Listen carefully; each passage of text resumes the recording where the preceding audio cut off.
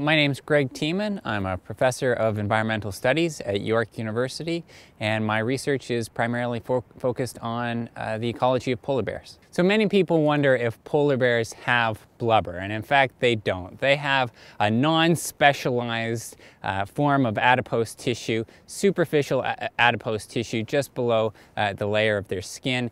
And the, the role of this fat layer or adipose tissue layer is primarily energy storage. So at times of the year like this, when uh, the primary habitat area is ice-free, polar bears are forced to come on shore. And during that time, they rely on their stored fat as a source of energy.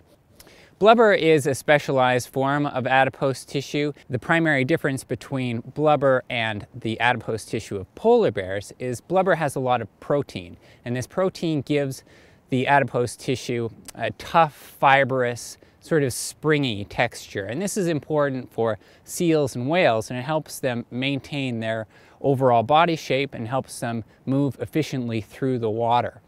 The other thing that blubber does for seals and whales is act as an important insulator. So fat is a great insulator in the water.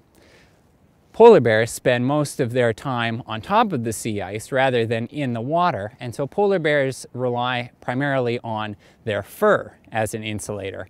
And fur is a more effective insulator in air um, than it is in, in water, where blubber is the primary insulator.